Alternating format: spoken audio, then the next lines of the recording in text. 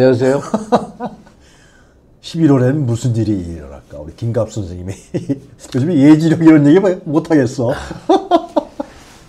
이문세 노래 중에 왜 가을이 오면 뭐 이런 노래 있잖아요. 참 밝은 기분인데 정말 11월이 오면 이제 모든 일이 봄을 터지듯이 어. 터지는 때 11월, 12월 두 달 또는 그 이후까지 몇 달에 걸쳐 거대한 이제 폭발이 날 것 같지 않습니까? 네. 박근혜 때도 그랬죠, 그죠? 그럼요. 예. 근데 여기 오는 택시 안에서 갑자기 드는 생각이 네. 내가, 내가 지금 용산에 있는 그윤 씨라면 무슨 생각을 할까? 윤 씨. 예. 아무 생각이 없을 것 같아. 그죠? 아니, 아니. 있어요. 뭐예요? 그러니까 지금 명태군 스캔들도 덮어버리고, 맞아요. 김건희 특검도 어떻게 무마시켜도 괜찮고, 또 지지율도 좀 많이 회복하고, 네. 그다음에 이재명을 중재로 탁 해도 반발을 크게 못하는 사회 분위기도 만들고, 그러니까 모든 걸 일거에 해결할 카드가 있으면 얼마나 좋을까? 그 생각만 하는. 아, 카드가 있다. 카드가 있다면 뭘까요? 전쟁 우크라이나다. 전쟁 정치다. 바로, 바로 나오시네. 예, 우리 사전에 얘기한 거 없잖아요. 없어요, 전혀요. 북한군 동해안과 관련해서 어쨌든 어떻든 아주 절묘한 도발이라든지 뭐든지 그러니까 도박이죠. 잘못되면 이건 뭐 완전히 전 국토가 망해버리고. 망하는 건데 그걸로 모든 거를 이제 덮으려는 기도를 할 것 같고 네. 예. 벌써 이제 국방부가 아니라 정보사 정보계통에서 움직인다는 게 이게 정말 위험한 거지 않습니까? 그거를 획책하지 않을까 하는 게 이제 우리 추정이고 예, 이걸 무슨 짓으로 이제 전쟁 위기로 몰아가는 건 이제 큰 그림인데 그걸 무얼로 구멍을 뚫을 것이냐 이제 그거고 그 앞에서는 우리는 이제 지금 앞에 열거한 모든 문제가 일거에 폭발적으로 다 이제 맞아요. 튀어나올 것 같고 그 상황 앞에 지금 서 있는 거죠. 네. 그리고 그 시점은 11월이 될 수밖에 없겠죠. 네. 예. 그러니까 몇 가지 특검 발의도 이제 한번 몰아붙이는데 요번에는 좀 가능성이 있어 보인다는 어, 얘기들을 민주당 쪽에서 많이 하고 네. 그 반면에 이제 이재명 대표에 대한 사법적 네. 이제, 이제 선고죠. 선고로 15일하고 20 며칠인가. 예, 그거 길을 있어요. 팍 꺾어 놓는 거죠. 야권 진보 진영 이쪽에 길을 팍 꺾어 놓는 그런 행위들을 할 테고. 하여간 그런 생각들을 머릿속에 복잡하게 하면서 이 자리까지 왔습니다. 법원을 하여튼 가진 수단을 다 동원해서 압박하겠죠. 그러겠죠. 그러니까 어, 박태균 의원인가요? 그, 그 민주당의 예, 그 예. 법관 출신 의원이 예. 어젠가 하여튼 그 이런 데 나와서 얘기하는 걸 봤는데 우리 우리 나왔어요. 예? 우리 절대 염려 없다고 막 예. 이런 얘기를 예, 하시는데 선거법상 무죄다. 뉴스 코멘터리 출연했었습니다. 예, 근데 저는 그 얘기를 들으면서 너무너무 답답하더라고요. 아 그래 왜 그러세요? 상식적인 법리로는 안 되는 거죠. 여학생 일기장 뭐 무슨 어 그 우리가 너무나 잘 아는 무슨 표창장을 위조했네 만에 갖고 4년을 때리는 사법 체계예요. 네. 음. 그러니까 합리적인 무슨 법률 논리로는 안 통한다는 걸 여지껏 경험을 했는데 지금도 또 법, 그 법조 출신들의 국회의원들은 아, 이건 법리적으로 이재명 대표는 절대 이건 무죄가 납니다. 이 소리를 하니까 답답한 거죠. 억울한 누명이고 말도 안 되는 거고 법리적으로는 도대체 저 검찰의 기소가 말도 안 된다는 걸 누가 모릅니까? 그 70년대 계셨으니까 그때 예. 학생이셨죠. 예. 유심 판사 기억하시죠? 아이 그럼요. 저 저도 재판 많이 다녔어요. 이, 그래요? 이태복 씨그 유명한 재판에 제 현장에 있었어요. 대논 재판장과 어. 이태복 그, 뭐 잘들 모르실 텐데 예. 그때 당시 아주 센 분으로 어마어마한 분으로 DJ 있었어요. 때는 보건복지부 장관도 했었죠. 그렇죠. 어.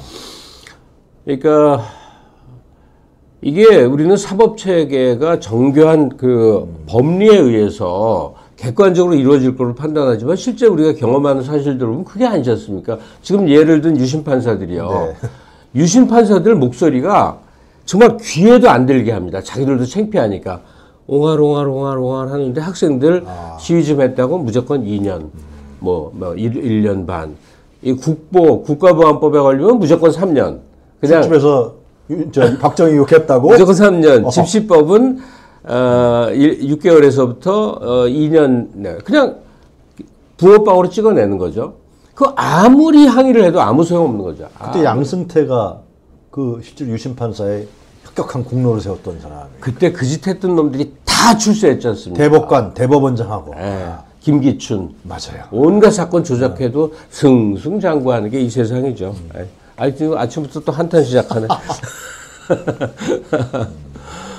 웃음이 안 나는데 웃음이 나네요. 이걸 허드 웃음이라 그러나? 그래서 그때 김가수 선생이 저한테 방송 나오셔서 나오는 사람한테마다 물어봐라 막 그랬잖아요. 네. 제가 나오는 사람마다 물어보고 있습니다. 자, 그럼 환기시키는 거죠. 얘기하고 걱정된다 얘기를 하고 있는데 뭐, 어, 뉴스 보니까 민주당에서 이제 어, 무죄 캠페인 한다고 그래요. 아 그래요? 예. 근데 뭐 할 수 있는 건 다 해야죠. 다 해야 돼요. 예. 지금 우리 시민사회가 할 수 있는 유일한 방법은 그냥 여론 압박밖에 없는데 박근혜 때랑 지금이랑 참 많은 게 비교가 돼요. 그때는 정당, 정치권보다는 시민사회가 앞장서서 항쟁에 전면에 그쪽에 있었고, 그 다음에 메이저 언론사가 좀 밀고 갔고, 처음에 JTBC가 터트리고, 나중에 희한하게도 조선, TV조선 측에서 어, 물증을 더 뒷받침하고. 살려고. 어, 이러면서 됐죠. 근데 숟가락 지금은 네, 지금. 거의 비슷한데 조금씩 다른 게 일단 지금도 언론을 중심으로 터주는데 예. 마이너 중심으로 터주죠. 네. 일단 뉴스토마토가 쏘아 올린 맞아요. 거대한 공이죠. 예. 남자애가 쌓아올린 공이야? 명태균 사태가 뉴스토마토의 기사에서 출발했는데 보통은 쏴도 묻혀버리거든요. 네. 근데 어떤 여러 가지 희한한 것이 아 물론 다들 언론인들도 느껴서 그럴 거야. 그렇죠. 이는반을 보고 견디면서. 아, 그러니까 뉴스토마토 기사가 명태균 기사를 통해서 이제 폭발이 점화되면서 지- 지금 두 달 동안 우리가 이제 부글부글부글 하고 있는데 이 마이너 언론사 또는 뭐 뉴미디어라고 할까? 이쪽에서 터트린 걸 레거시가 받으면서 일이 이제 폭발적으로 커지면서 그다음엔 거리의 시민 항쟁으로 나타났던 박근혜 때와 달리 지금은 사람들이 온라인 공간에서 예. 온갖 화력을 집중하고 또 그걸 대행하는 유용화의 정치 생활 정치. 생활 정치 같은 데서 온갖 곳에서 지금 뭐라도 말을 하고 있는 거죠. 네. 이 시간 함께하는 분들도 뭘 한마디라도 보태면서 네. 이 얘기를 또 옆 사람에게 말 안 통하던. 어. 어, 형님에게 동창에게 이웃에게 지금 말하면 그게 여론 지- 조작 20%라는 게 그래서 나온 거거든요. 네. 누구에게라도 아. 한마디라도 보태면서 거리 시위가 지금은 온라인 공간에서 아. 스크럼을 짜고 대규모로 지금 모이고 또 모여가면서 네.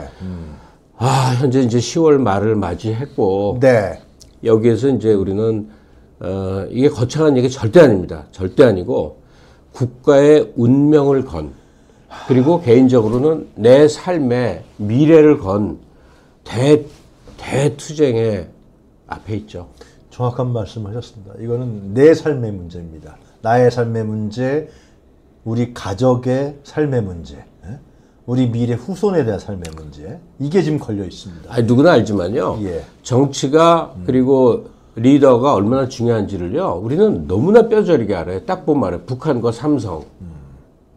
북한은 저희 어머니는 황해도 해주 사람이고 아버지는 평안남도 강서 사람인데 네. 다 전쟁통에 내려왔을 거 아니에요. 어, 우리 네. 어머니가 고등학교 때 내려왔는데 어. 평생 돌아가신 분이 평생 하시던 얘기가 있어요.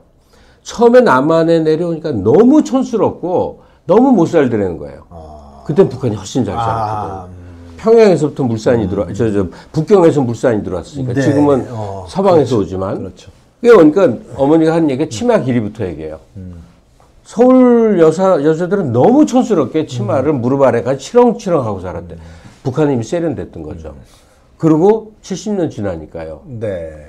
비교 불가요. 그렇지. 그러면 북한 사람, 남한 사람 뭐가 달라? 똑같은 사람인데 정치 하나가 최빈국과 선진국을 만드는 거야. 이거 우리 경험했지. 네. 삼성 그 최고의 나라 저 저 저기가 어 이건 뭐 조심스럽게 말해야 되지만 지금 삼성 위기는 뭐 너무나 많이 지금 수근수근 얘기되는데 그걸 객관적으로 공정하게 얘기하시는 좀 점잖은 분들도 이건 거버넌스의 문제다. 그죠? 네. 그러니까 거버넌스의 문제라는 게 그 경영사정 말고 결국은 이재용 네. 이재용. 문제라는 거죠. 재벌 3세. 예, 이재용의 어, 경영 판단, 선택과 집중의 문제였다라고 지배하게 됐는데 네. 그만큼 우리 국가 그 삼성협의 때문에 우리 국가는 뭐 이건 지금 어, 리더 하나 잘못 뽑아서 정말 나락으로 굴러 떨어지는 거를 모두 같이 경험하고 있지 않습니까? 네. 음. 그 전쟁 정치라는 용어가 있습니다. 잘 아시겠지만 지금 윤석열이 하고 있는 게 전쟁 정치인데요. 결국은 지금 이 문제 어떻게 비화될 것 같습니까? 지금 모든 언론이 총동원돼서 미국발 외신 또 우크라이나발 외신 국정원과 뉴스에 뿌려대는 걸 좀 사람들이 굉장히 불안해해요. 어. 아니 불안하죠. 이 전쟁이 불안하죠. 일으킬까봐. 아. 예. 아니 그리고 전쟁이 일어나서 대사변이 꼭 일어나는 것보다도 뭐 3차 대전 뭐 이런 것보다도 전쟁급의 위기와 상호 교전 상황이 계속 그러니까 지금 러시아 우크라이나 전쟁 비슷하게 계속되는 상황. 그냥 썩어 문드러져 가는 거거든요. 망하는 거죠. 완전. 망하는 거죠, 망하는 거. 그 상황이 계속 촉발될까봐 대단히 두렵죠. 왜냐하면 우리 모두가 가난해지는 거니까. 단기간에 가난해지는 거니까. 하여간 이거는 이, 이게 통해 안보, 군사, 외교, 국제외교 전문가들이 네. 총동원돼서 목소리를 보태야 됩니다. 맞아요. 네. 어.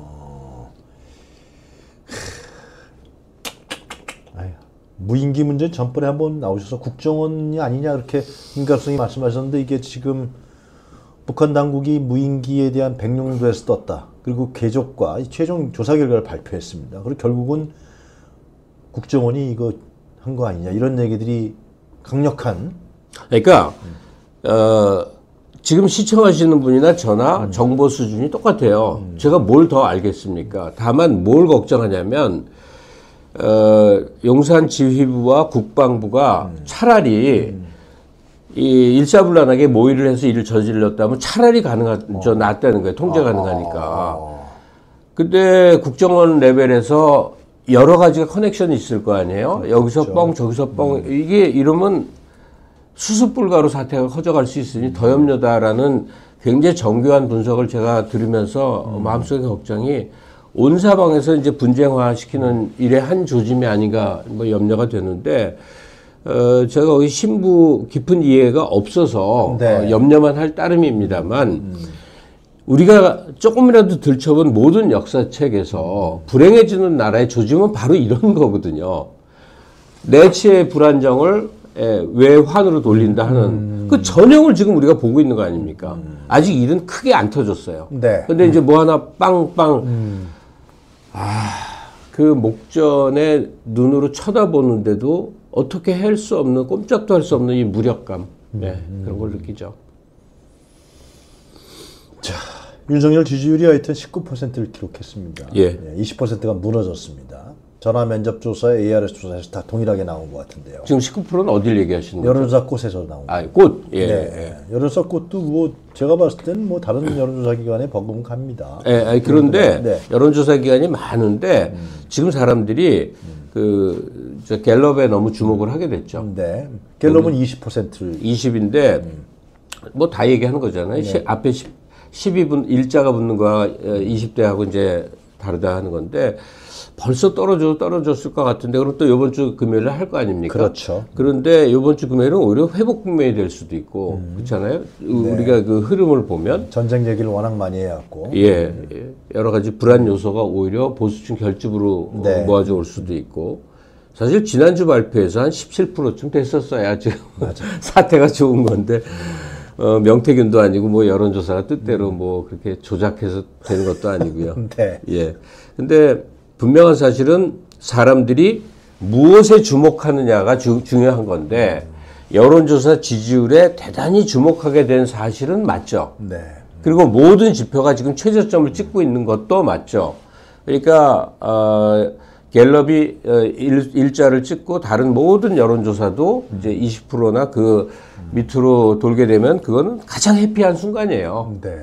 이 정권의 빠른 몰락을 바라는 모든 사람들에게 현재 가장 눈앞에 가시적 수단은 여론조사 지지율에 의한 범국민적 어, 환기 이 정권의 취약성에 대한 환기니까 저도 그래요. 전화 모르는 번호 와도 무조건 받습니다. 무조건 하나라도 응답을 해보려고. 어, 그러시래요. 예, 저는 왜 이렇게 저는 왜 이렇게 안 걸려요? 한 번 온 적 있었고 그 어디 꽃이 저한테 왔어요. 꽂혀버렸어요. 예, 그래서 응답을 한 적이 있는데 네. 어떠한 여론조사건 예, 예, 우리 민주시민이라, 시민이라면 지금은 눈에 불을 켜고 하루 중 아무리 일과가 바쁘고 장사하시는 분들 아무리 손님한테 물건 파는 여- 와중이라도 여론조사 무조건 응답해야 됩니다. 아, 중요한 말씀 하셨네요. 그럼요. 어. 지금 우리가 항쟁의 방법이 주말에 광화문에 나와서 촛불 드는 그것만으로 안 되는 상황 아닙니까? 그게 잘 되지도 않고. 네. 근데 여론조사에 응답해서 여론 지지율이 바로 거기서 반영되는 거는 언론 보도 논조예요. 그렇지. 기성 언론들이 지금 논조가 확 바뀌고 있는 게 여론 압박 때문에 그렇거든요. 맞습니다. 예. 이것이 바로 뭘로 결과를 가져오느냐? 여권의 내부 갈등이 격화되는 방향으로 바로 오겠죠. 그리고 야권은 힘이 붙고 민주당은 어, 항상 여론 눈치를 보다 보니 좀 더 단호한 조치로 나갈 수 있는 어, 용기를 얻게 되고 이게 서로 네. 모든 것이 상승작용을 일으키게 되고 네. 그리고 이제 소위 한국의 오너 그룹들, 재벌 대기업들 뭐 등등 이 그렇죠. 오너 집단들도 딱 관망세로 돌아서서 야권을 돕지 않겠지. 그러나 어, 윤석열 이, 이 지배 체제에 대한 적극적 지원은 한 발 빼고 보겠죠. 그렇죠. 그들은 많은 수단을 갖고 있으니까. 그렇죠. 어, 그러면서 걸칠 수도 있는 거고. 아, 그럼요. 예. 예. 분명히 걸치겠죠. 어, 어. 그러면서 야 이거 어떻게 될지 모르니까 너무나 적극적 지원을 윤석열한테 하지 말자. 뭐. 그럴 때는 뭐 이재명 대표가 대한 상의 초대돼서 강연을 한다든지 전경련 회의에 초대되든 된다든지 이게 이제 놀라운 일이 벌어지죠. 그럼 네. 속 모르는 사람들이 아, 이 민주당 대표가 왜 저 재벌 모임에 가냐 그러는데 가야 됩니다. 해야 됩니다. 우리나라 기업을 다 때려 부술 수는 없는 거고 어, 그렇게 해야 되는 거죠. 그 경제 부분에 관심이 많으니까 많으시니까 오늘 아침에 제가 이렇게 뉴스를 찾아보니까 원 달러 환율이 1,400원대를 위협하고 있다 그럽니다.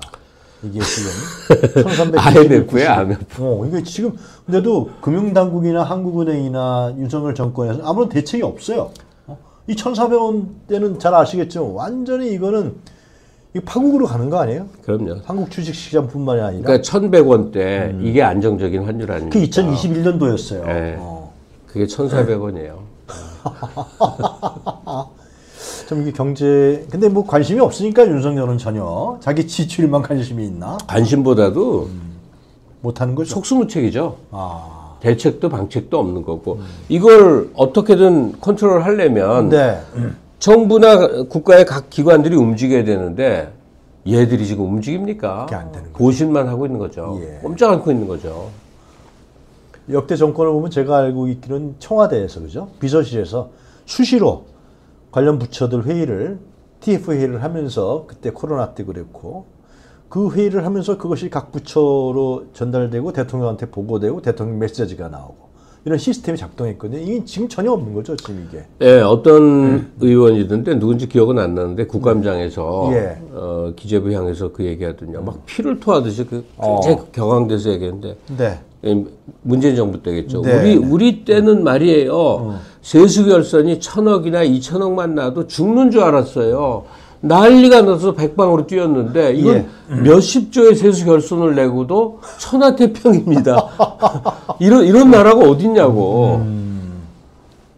아유 뭐 한탄만 하면 끝이 없고요. 어, 이번 주 토요일 날 그죠 민주당의 대대적인 장애 집회가 예정돼 있습니다. 그때 우리 김가루 선생님도 민주당에서 집회를 하게 되면은 전 국민이 다 나가야 된다 이런 아, 말씀하셨는데 예. 그러니까 지금은 할수 있는 걸 다 해야 될 때, 지금은 관망했죠. 몇달 네. 동안 우리가 지켜봤지 않습니까?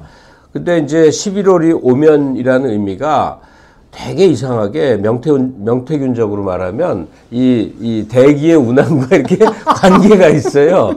근데 한국인들은 추워야 투표하고 추워야 입시 치르고 추워야 정권 바꿔요. 그러네요 정말 항상 그래요.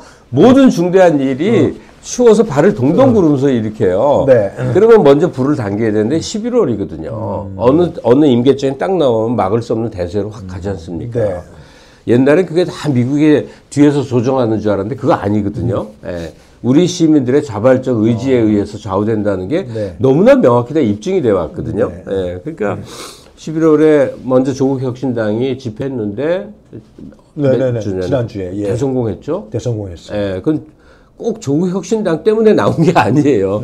집회를 필요로 해서 사람들이 나온 거죠. 예. 민주당 집회하고 그다음에 이제 시민사회 집회하고 네. 이게 이제 나중에 다 합쳐져야 되겠죠. 그렇습니다. 어, 이렇게 달고 나갔는데 아, 장소가 좀 안 좋긴 해. 저도 나가봤는데 그 이렇게 서울역이 있으면 그 옆으로 이렇게 휘어지는 곳에 6개월 옆에 옹색한 데예요. 아주 옹색해. 어쩔 수 없어서 그렇게 한 것 같아. 근데 이제 새가 몰리면 이제 광화문 한복판으로 모이겠죠. 그렇죠. 예. 예. 어. 아직은 아주 그 거기 있으면 굉장히 굉장히 궁색한 느낌이 들어요. 민주당 이재명 대표가 이번 주말에 집회하겠다는 것은 어떤 정치적 의도라고 보세요, 우리 선생님 보시기에? 아니 그 시민들에게 메시지를 던지는 거죠. 이제는 모두가 어, 결정적 타임을 향해서 갈 때입니다. 이, 이 신호죠. 그러니까 어, 총동원령이라는 게 민주당에서 내려질 때가 있는데 아직 총동원령은 아니고 예, 그건 아닌데 어쨌든 집회를 통해서 네. 그러니까 이 순서가 국감에서 어, 이제 폭로할 것은 많이 폭로를 했고 네. 이제 근데 이제 대중 집회를 통해서 순서를 잘 밟았죠. 섣불리 그 옛날 황교안이 하듯이 어, 거리 집회만 난리치면 고립되는데 지금은 고립되지 않죠. 예. 어. 그 어젠가 보수 논객도 그 얘기하더만 어, 진행자가 물어봐요. 네. 이재명 대표가 그, 그 서울역 집회 한다고 했는데 어떻게 생각하세요? 그랬더니 그, 그 보수 논객이 그래. 아, 뭐 집회할 수 있는 거죠. 옛날 같으면 막 비난할 거 아닙니까? 아, 집회할 수 있는 거죠. 뭐, 예. 뭐 저, 탄핵소추 발의 얘기도 국회에서 자꾸만 나오는 것 같습니다. 그죠? 예. 예, 이제 그것도 같이 지금 말씀하신 대로 할 수 있는 건 다 해야 되는 거죠. 어. 탄핵소추 발의 타이밍은 이제 봐야겠죠? 이 대표에게 밀- 맡겨야죠. 맡겨야죠. 저는 정말로 고도의 정치적 판단이기 때문에 우리가 네, 푸시할 수는 있어요. 그렇죠. 예, 예, 조국 대표가 막 주장하잖아요. 빨리 하자고. 네, 네. 민주당에도 그러자는 의원들이 있거든요. 막 합시다, 합시다. 괜찮아요. 막 네. 합시다, 합시다 요구를 해요. 그러나 버튼을 누르는 거는 이 대표가 해야죠. 어, 네. 그, 그게 지도자의 결단인 건데 그때는 그러니까 뭐 괜히 한번 해보는 일이 될 수는 없는 거 아니에요. 네. 이건 되치기라는 건 무서운 거니까 적절한 타이밍을 이제 보고 있겠죠 하루하루. 선생님 보시기에 우리는 이제 우리 세대는 이제 군부 독재 정권도 경험하지 않았습니까? 지금 그리고 이제 듣보잡 예. 난데없는 검찰 정권을 지금 우리가 경험하고 있는데 한번 좀 비교해서 설명을 좀 해주시면 이 본질이 명확하게 드러날 것 같아요. 이게 제가 속마음에 많이 품고 있는 생각인데 말하기가 조심스러운 게 네. 오해를 살까봐 그래요. 유 선생님이나 저나 군부 통치 시절을 너무나 생생히 기억하고 있지 않습니까? 그렇죠. 예. 저희가 소위 재수 안 하면 제가 77학번인데 재수 78학번이니까 예, 예. 박정희가 눈을 시퍼렇게 뜨고 있을 때 대학을 들어갔으니 예, 어. 뭐 고등학교까지는 우리 생명이었죠. 뭐 세상이 뭔지 모르고 그냥 어. 친구들하고 장난이나 치고 놀았죠. 대학 들어와서 이제 세상을 알았을 때 네. 그때 전두환 때까지의 기억과 지금의 검찰 동- 정권은 명확히 구분되는 점이 하나 있어요. 뭡니까? 그러니까 무도한 무도한 지배 체제라는 점은 같아요. 네. 근데 명확히 구분되는 점은요. 오해하지 마세요. 또 군부 독재 칭송한다고 오해하지 마세요. 군인들의 특성이 있어요. 자기들이 무지하다는 걸 알아요. 그래갖고 이들이 어, 최상급 인재에 대한 갈, 갈망이 있습니다. 목마름이 있어요. 경, 특히 경제 관료들. 그렇죠. 최상급 인재들을 최대한 긁어 모은 다음에 이들을 때려 몰아서 자기들의 집권에 정당성이 없다는 것 때문에 쿠데타로 집권했다는 사실 때문에 실적을 내기 위해서 몸부림을 쳤다는 사실 이걸 부정하면 안 됩니다. 그 실적의 1순위는 물론 경제 성장이고 네. 그건 결과를 낳았어요. 맞아요. 어. 그러니까 군부 통치가 100% 나쁘기만 한 게 아니었다는 얘기를 지금 드리는 거예요. 왜 이들은 자기들이 국민으로부터 인정받고 정권을 계속 이어가기 위한 유일무이한 수단을 실적을 내는 걸로 봤어요. 경제, 경제다 이거지. 그럼요. 수출. 아, 물론 이들은 이제 빈부격차에 대해서는 큰 네. 관심은 없었죠. 예, 예. 어. 그러나 어 적어도 다수의 중산층을 만든 건 사실 아닙니다. 근데 중산층은 노태우 때 임금 상승으로 만들어진 건 사실이에요. 이걸 뭐 자세히 들어가면 뭐 얘기는 하나도 네. 예, 복잡해요. 예, 뭐. 근데 총량적 국부를 늘리는 데는 분명한 성공이 있었잖아요. 이건 왜냐? 그들의 의지가 그렇게 작용을 했어요. 나의 정당성을 실적으로 만들겠다. 그러기 위해서는 인재를 등용해야 된다. 그래서 자기네들하고 뜻이 맞고 안 맞고 상관없어요. 똑똑한 놈 잘 빨아, 뭐 남덕으로 시작해서 뭐, 나, 쟁쟁한 경제 관료들은 뭐, 잘잘잘잘잘 외울 만큼 많이 있죠. 네. 어. 그리고 꼭 그, 그뿐만이 아니라 그러면 바로 알 수 있죠. 검찰 독재 정권과 군부 독재의 결정적인 차이는 뭐냐? 검찰 독재는 검찰 정권은 국가적 실적을 내는 거에 아예 관심이 없습니다. 지네들이 다 알아. 어, 할 도리 낼 도리도 없고 예. 더구나 군부 군인들은 자기네들이 천년만년 해먹을 줄 알았으니까 장기 비전을 간 아. 건 국가 사업이나 국가 투자를 했는데 얘네들은 5년 임기는 거기까지는 알거든. 5년 내 할 수 있는 건 해먹는 거다. 해먹는 거다. 에. 실적에 대한 관심이 아무것도 없어. 그리고 또 옛날 비교를 하면 군부 독재 시절에 네. 대형 참사가 나면 이것들은 아래 것들 장관을 잘라서라도 약간 책임감을 느끼려고 하는 그거는 꼭 군인이라기보다 사회 전체의 분위기가 있긴 맞아요. 했지만 어. 책임지는 자세는 알았어. 왜? 군인들은 그랬으니까. 군인들은 명령 지휘 계통에서 상급 지휘 라인이 책임져야 되고 옷 벗어야 되고 그렇지. 감방 가야 되는 걸 어. 알았으니까 예. 어. 국가적 재난이 참사가 벌어지거나 오늘이 이태원 참사 어? 어, 이주기입니다. 이주 어떻게 벌써 이주기냐고 예. 책임 지우려는 자세 정도는 있었잖아요. 제가, 네. 제가 자꾸 군부 독재 찬양하네. 그런 자세는 분명히 있었다고. 우리가 봤으니까 알잖아요. 상대 비교죠 지금 상대 비교. 와, 검사 이것들은. 이건 쥐새끼들이네. 다 맨 아래, 맨 말단에다 책임을 돌리거나 아예 아무 책임도 안 지게 하거나 빠져나가네. 그러니까 너무 나빠요. 지금의 검사 통치는 나빠도 너무 나빠요. 인간의 사악함에 최정점을, 극한을 달리는 모습을 보이고 있어요. 정말 미치겠어요. 인간은 양면이 있어요. 예? 사악한 자기 이권 추구도 있지만 또 어, 사회정의나 인간의 도덕심에 대한 또 본능 이 어느 것이 발휘되느냐인데 내 안에 있는 가장 더러운 찌꺼기를 온몸에 똥처럼 바르고 이것들이 대통령, 장관, 무슨 기관장, 뭐 부서장 이런 것들 하고 있어. 그걸 지금 눈에 보고 있는 거예요. 네. 저것들도 한때는 꿈 많은 청년이었을 테고 그렇죠. 한마, 한, 한때는 정의로운 검사의 꿈을 꿨을 거라고. 근데 그 조직에 들어가는 순간부터 바로 알아버리는 거죠. 거- 세상을 어떻게 살아야 되는가.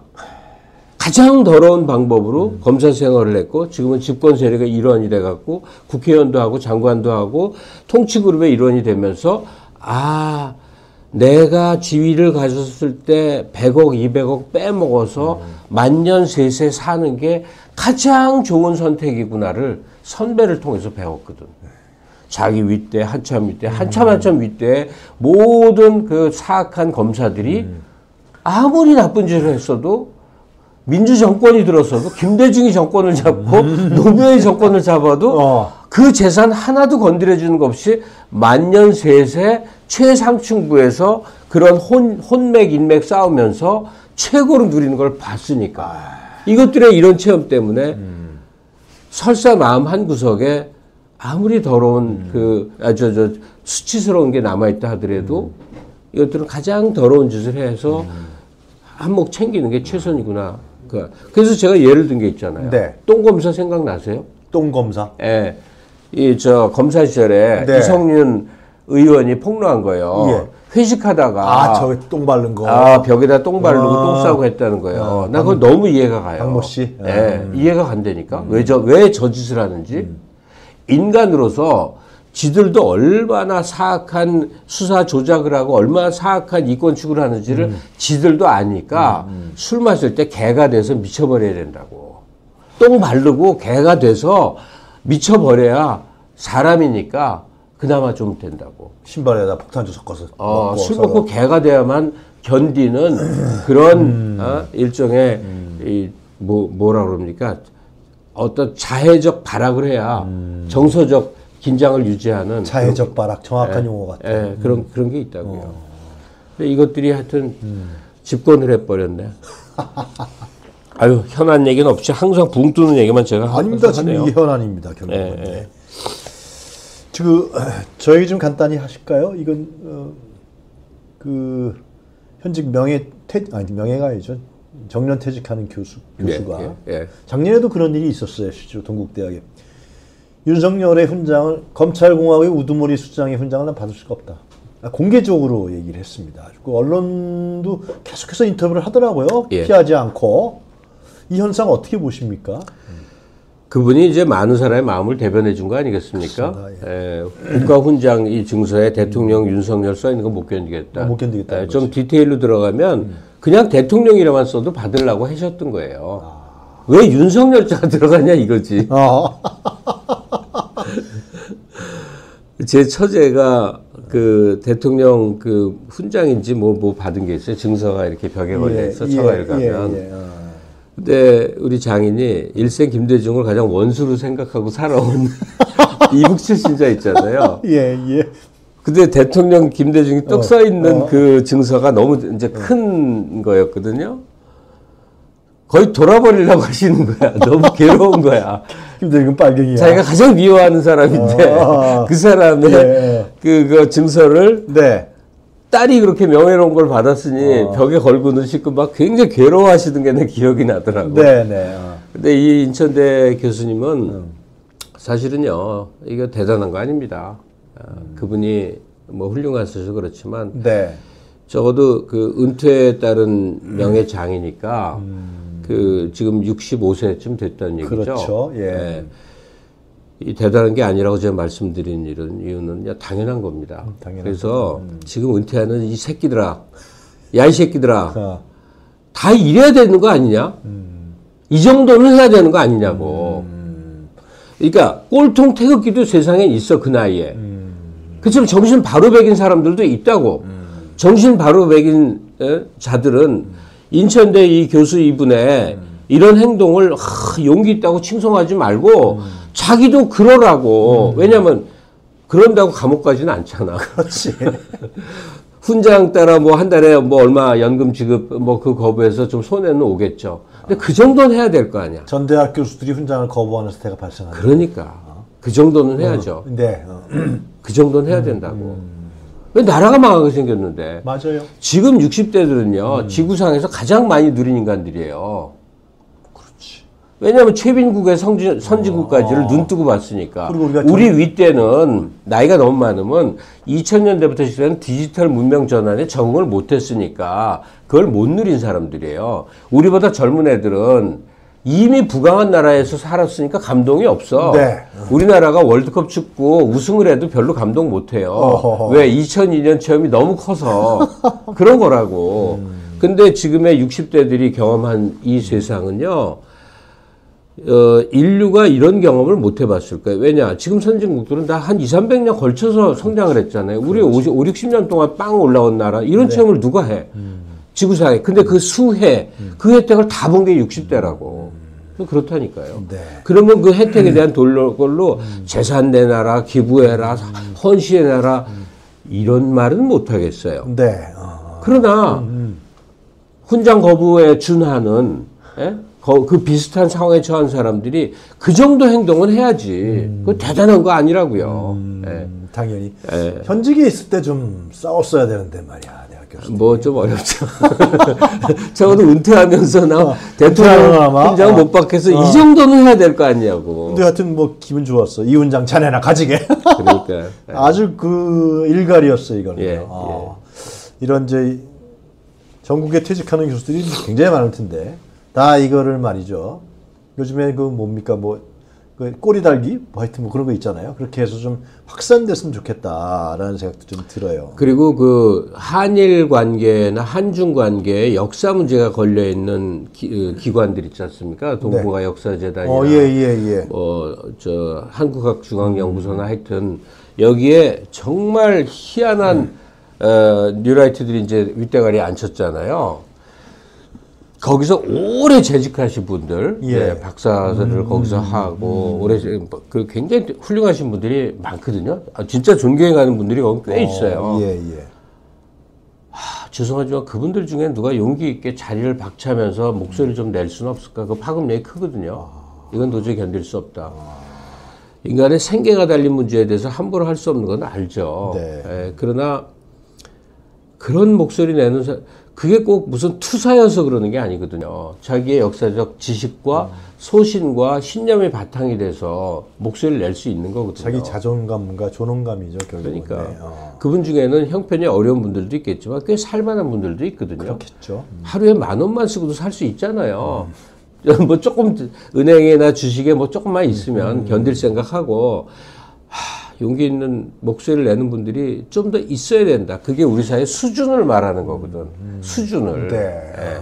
그러니까 소위 기득권이라는 게 꼭 돈 많은 재벌만 말하는 게 아니고 그렇죠. 고학력의 어, 그런 연구 박사급 연구원이나 뭐 교수나 뭐 하여튼 이 등등이 다 네. 기득권이거든요. 네. 이들 중에 지금 목소리가 너무 약해요. 이들도 문제의식은 다 느끼는 것 같아 보면. 막 그럼요. 어, 지금 전 국민이 통일돼 있거든요.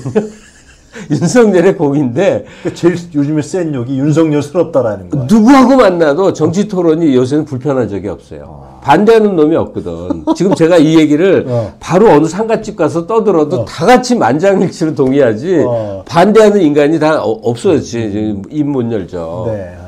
그러면 사회적 목소리를 좀 더 냈으면 좋겠고요. 그게 바로 저 자신에게 돌아옵니다. 그러면 너는 무엇을 할수 있느냐, 뭘 희생할래인데 할 수 있는 걸 생각을 해보는데 이렇게 목소리 드높이는 거하고 고소당하는 거 아주 고소 때문에 죽겠습니다. 많이 나가셨어요. 아이 그럼요. 변호사비 생각하면 끔찍해요. 예, 변호사비가요. 그냥 기본으로 나가는 게 500이에요. 근데 형사를 당하면 예. 민, 민- 제가 옛날에 이제 김기춘한테 소송 당했을 때 그래요? 예, 미- 어. 어, 그때 고생 되게 많았어요. 언론에도 많이 나왔는데 하도 많으니까 기억 못 하시죠. 민변에서 예. 무슨 민변에 무슨 공익 무슨 자금이 있대요. 네. 그래서 형사는 내주더라고. 어. 근데 민사에 또 걸었거든. 김기춘이가. 네. 그거는 내가 변호사비 내야지. 아, 근데 그 금액이 장난이 아니에요. 최전대도. 예. 그게 이제 그때는 최, 그 불기소로 이제 어떻게 해결을 봤어요. 어, 제가 좀 쪽팔리는 일을 했지. 그 게시판에다가 이제 쓴게 있어요. 근데 네, 음. 이제 재판 들어가면요. 아, 내 처도 말도 안 되는 거 해서 완전 승소를 하긴 했는데 2천 몇백 들더라고. 한 건으로. 어이구. 2년 반, 3년 가까이 걸리고 계속 불려가고. 그러니까 사람들이 소송을 무서워하는 거긴 하죠. 근데 뭐 또 걸려면 걸어. 걸라고. 내가 뭐 시간도 많고 방송도 못 나와도 되고. 마음대로 하라지. 우리 선생님 나오셨을 때 제가 그걸 여- 못 여쭤봤어요. 소설가 한강의 노벨 문학상 문제, 예. 5.18 광주 항쟁과 제주 4.3 항쟁, 그 외에도 여러 가지 작품들이 있지만 일단은 하여튼 그 소년이 온다 그리고 작별하지 않는다. 어. 이것이 또 윤석열 정권에서 이게 노벨 문학상 5.18과 4.3 항쟁을 아니 뭐 그건 공교로운 건데 네, 하여튼 음. 제가 평생 그, 그 한강의 작 한강하고도 인터뷰 여러 번 했거든요. 어, 그래요? 과거에 그런 거 하면서 살던 사람인데 갑자기 지금은 이 윤석열 때문에 이런 얘기 하면서 진짜 인생이 이렇게 바뀌어도 이렇게 바뀔 수가. 네, 근데 이제 그 뭐 다 아실 얘기예요. 네, 그러니까 우리나라가 어떤 나라냐를 보는데 그걸 평가하는 세 개의 지표를 봐야 돼요. 그러니까 다르게 표현하면 뭐가 선진국이냐를 보는 거예요. 하나는 당연히 경제력을 보죠. 네, 또 하나가 당연히 국방력을 보죠. 군사수. 이 두 가지 이게 빠져 있는 강대국이나 선진국은 존재하지 않아요. 강대국과 선진국은 좀 다른 거예요. 근데 거기 이제 나머지 하나, 나머지 하나가 뭐냐? 문화적 영향력, 소위 소프트 파워예요. 근데 가장 어려운 게 소프트 파워예요. 중국이 넘버 투의 나라고 선진국은 아니나 엄청난 강대국이에요. 네. 근데 소프트 파워 안 되는 거야. 왜? 사상 통제를 하니까. 그잖아요. 유튜브도 어? 무슨 넷플릭스도 못 들어가고 지들끼리 다치, 다친 세계에서 노니까 저는 중국을 싫어하는 사람이 아니에요. 왜냐면 중국은 우리 앞- 앞으로도 100년 먹거리라고 생각을 하니까. 그러나 그냥 객관적으로 보면 사상 통제가 있는 나라에서는 문화적 소프트 파워의 이제 확산이라는 게 불가능한데 우리나라는 윤석열 정권이 아무리 무도해도 그래도 2년 반밖에 안 됐잖아요. 네. 그러니까 전체적으로 보면 K자 붙은 문화의 융성이에요. 근데 K자 붙은 문화 융성의 제일 아쉬운 점이 뭐냐? 네. 대중문화에 대중문화에 치중되어 있다는 사실이에요. 우리가 역사 시기를 이렇게 길게 보면요. 네. 한 300년 정도의 근대라는 시기가 있지 않습니까? 그렇죠. 예. 예, 예. 우리가 옛, 사람은 옛날과 똑같은 줄 아는데 100년 전에, 500년 전에, 1000년 전에, 네. 2000년 전 인간은 사실 다른 종에 가까울 정도로 다른 거예요. 다른 거라고.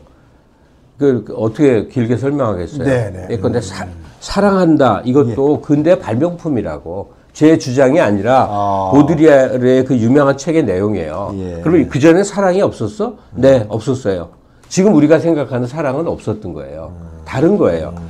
또 성행위, 에로티시즘이 근대의 유명한 발명품이에요. 생산을 목적으로 하지 않는 쾌락을 목적으로 하- 하는 이 긴 성행위 시간, 예? 20분에서 1시간, 이거는 근대의 발명품이에요. 이 모든 이유가 뭐냐? 근대 가장 큰 발명품이요. 증기기관이나 뭐 이런 게 아니에요. 개인이에요, 자. 네. 나라는 존재가 근대 처음으로 생긴 거예요. 네. 근대 이전은 거대한 전체의 하나였어요. 그래서 순장, 왕이 죽었을 때 그 돌보던 사람 300명을 땅에 묻어도 기꺼이 죽는 거예요. 나라는 개체로 존재하는 게 아니까. 나의 욕망, 나의 기쁨, 나의 슬픔, 나의 재산, 이 각도로 생각하는 관념이 없었으니까. 근데, 어, 얘기, 얘기가 또 이렇게 아, 아닙니다. 예, 이제 문화 얘기하다가. 그러니까 저 한강 얘기하다가. 예, 그, 근대 근대라는 게 자아의 이 자아의 어떻게 보면 확장이죠, 확장. 예, 나라는 것으로 세상을 보는 게 쭉 이제 근대 이후의 역사가 흘러왔잖아요. 근데 어, 그 중에 이제 어, 왕정에서 귀족정에서 공화정에서 거치는 동안에 쭉 성장하는 게 있다면 지난 2000년대에 접어들어서 밀레니얼 이후에 20여 년, 이제 30여 년을 향해 가는 이 시기는 가장 폭발적인 대중의 성장기예요. 매스 대중의 성장기. 이전에 하고, 다, 그전에는 엘리트의 시대였고, 엘리트 이전에는 그, 저, 권력의 시대였고, 다 이게 바뀌는 겁니다. 근데 대중의 성장이 지난 20여 년 동안 있었던 배경은 뭐냐? 디지털 전환이에요. 누구나 바로 접속하는 거. 그러니까 탈근대라고 하는 포스트 모더니즘의 핵심이 중심부가 존재하지 않아요. 전체를 통괄하는 다들 흩어져서 각계로 방사선으로 세상이 돌아가거든요. 그 방사선에 뭐가 놓여 있느냐? 흩어진 다수의 대중이 존재하고 그것은 빠른 속도로 접 3차원의 한계, 시간, 공간 이 이거의 한계를 그냥 다 넘어서는 거예요. 그러니까 시간의 고- 관계는 과거는 저장되고 현재는 이 눈앞에서 바로 이 동영상으로 볼 수 있고 미래는 시뮬레이션 되는 세상이 바로 오니까 다른 3차원을 극복한 세상이 오는데 그게 대중의 성장, digitalization과 바로 결합이 돼 있어요. 네.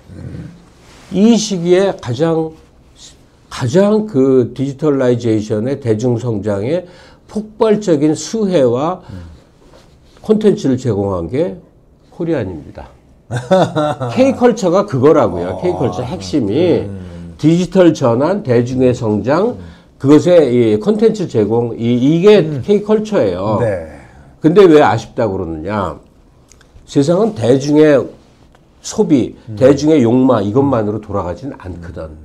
소위 본격 문화라고 부르는 네. 소위 창조성을 극한대로 갖고 있는 깊이의 세계는 존재하거든요. 이게 어, 과학기술로 말하자면 예, 원천 기술 같은 거죠. 이런 것에 대해서는 우리가 아주 아까 아쉬, 아쉬움을 느끼는데 하나는 인문학이고 네. 하나는 이제 기초과학 이두 분야죠. 와 그런데 노벨 문학상을 받았다는 건요. 예. 음. K-팝, K 뭐 food, 무슨 K 드라마 융성하고는 완전히 차원이 다른 거죠. 그렇지 않습니까? 인류가 가장 소중히 하는 인문학적 토양의 그 핵심이 문학인데 우리가 이 문학과 예술은 조금 구분하는 거예요. 문학과 예술에서 예술의 대중 예술의 부분에서 네. 아주 활발했는데 네. 인문학에 포함되거나 하여튼 이 문학 영역에서 예. 뭐 노벨상이 뭐, 대, 뭐 대수야 뭐 이런 말 하는 분들도 있는데 그건 예. 음. 뭐 바보 같은 소리고 실제로 아직 그래도 최상의 권위를 갖고 있는데 그럼요. 예. 아시아에 줄 차례가 왔는데 중국에 뻑적지근한 사람이 있어. 일본엔 말할 것도 없이 무라카미 하루키가 있어. 그걸 제끼고 왜 한국에 줬냐고. 그 뭐예요? 왜 그런 거예요? 줄만하다고 여겼거든. 이건 아무리 봐도 어. K컬처의 융성이라는 걸 보면 그들도 아는 거죠. 코리아는 이제 deserved라는 영어 있잖아요. 자격이 있다. 자격만큼 우린 대접을 못 받고 사는 나라거든요. 예. 해외 언론에 아직도 일본, 중국 언급되는 만큼 우리 아니잖아요. 그만큼 미얀마 같은 나라였고. 근데 K컬처 융성 이후에 어, 하여튼 그 K-팝이 그래미상을 못 하거든요. 그래미상은 뭐 따지는 게 따로 있어요. 네. 그래미상 그저 수, 아, 아, 그, 거기 못 미친다고 여기는 거예요. 네네. 어, 예, 수- 질이 낮다고 본 거죠. 노벨 문학상도 음. 마찬가지 판단을 했더니 못 받았겠죠. 근데 아니에요. 어, K컬처 융성에 대해서 이게 지구촌에서 한 활력적 요소라고 본 겁니다. 활력적 요소. 근데 만약에 지구촌의 활력적 요소로 아시아, 아시아 중에 코리아의 K컬처에 주목을 해서 그래 노벨 문학상을 줘 했다면 제가 보기엔 당연히 황석영한테 돌아가야 되거든요. 왜냐하면 노벨 문학상은 세 가지 기준이 기본 기준이 있어요. 평생에 걸친 업적, 평화에 대한 기여, 자국민에게서 받은 사랑. 그러니까 광범위한 대중 유명하지 않으면 안 줘요. 자국민들이 사랑하지 않으면 네. 안 되는 거거든요. 그리고 하여튼 뭐 그게 완벽하게 다 충족되는 게 황석영이에요. 네.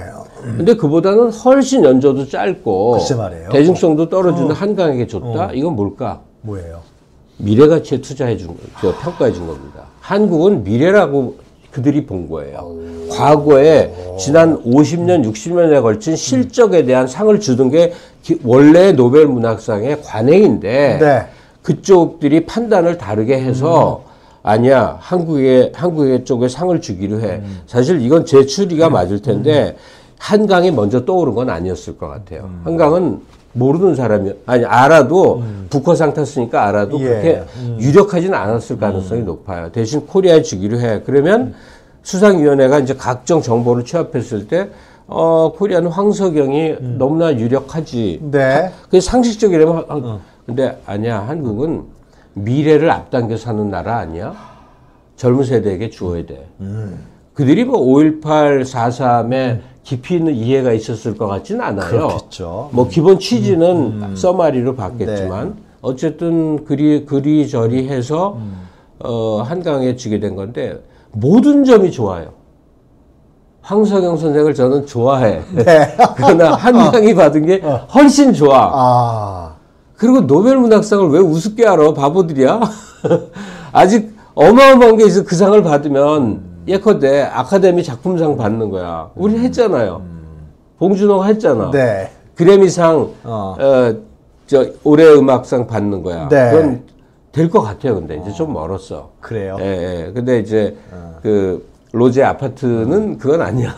음악적 성격이 히트는 순위도 많이 올라가겠지만 그런 식의 서구권에서 인정해주는 권위를 무시한다면 바보예요. 우리는 이미 서방권이에요. 그걸 부정하지 말아요. 네. 예. 북한은 동구권이었고 남한은 서구권인 거예요. 그렇지. 경제나 문화 영토, 영토가 그렇다고. 그러니까 그 괜히 사대지 운운하지 마시고 우리는 서방권인데 서방권이 가장 높이 평가하고 인정하는 거를 그것도 아시아 어? 우리나라가 뻑 가서 먹는 거는 엄청난 거라니까요.